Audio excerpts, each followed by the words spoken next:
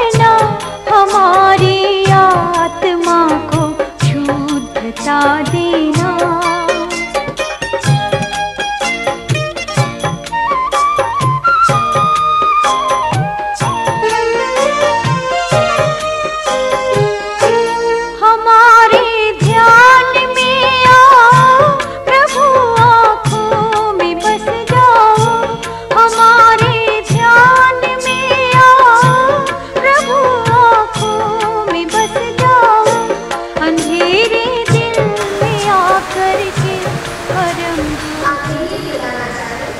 Obrigado.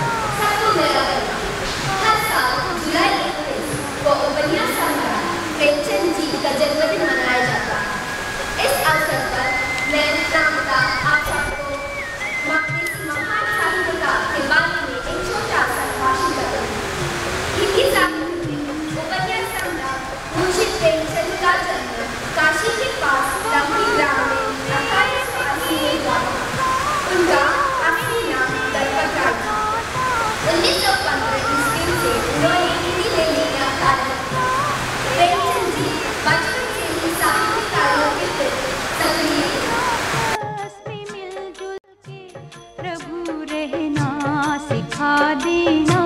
दया कर दान भक्ति का हमें पर